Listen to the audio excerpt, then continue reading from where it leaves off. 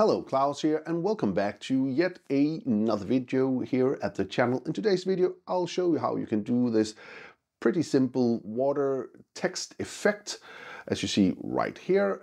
So without further ado, let's jump right into DaVinci Resolve and let's get started. Let's go. Okay, so let's get started. So we have this little clip here of a water surface. Um, this is from Storyblocks, but you can find them anywhere in the net, but the Storyblocks subscription is pretty nice. So anyways, let's get right to the effects. So first up, we'll go up to our effects and I'll go into titles. I'm going to take a title plus. I'm going to put that down here and, you know, I'm just going to type in something else going up to the inspector and let's just type water. Like that. So now we have the text here and we'll go into the OpenFX and uh, we can just search here for fast.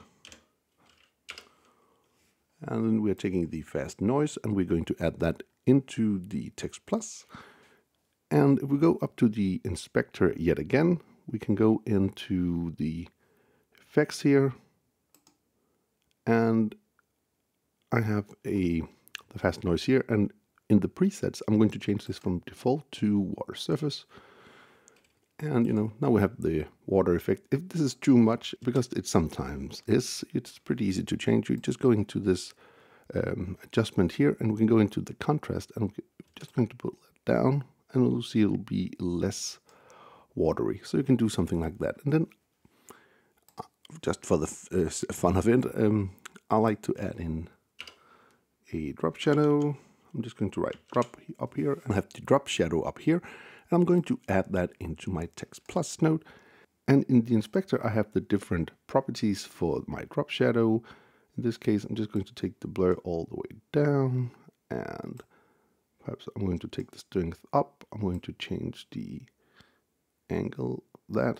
Maybe I want angle and uh, the distance here maybe I want something like that and then I'm just going to blur that out a little bit like that and maybe I'm also going to take down the length of that. So then I just added that in as well. So now we have this little effect here of a water text effect Pretty easy to fix and pretty easy to make. Anyway, I do hope you found this little video useful. If you did, please hit that subscribe button, give the video a like, share it with your friends if you think it would help them out, and if you want to be notified every time there's a new video on this channel, please hit that bell icon down in the corner. Until next time, keep filming, keep learning, and keep sharing.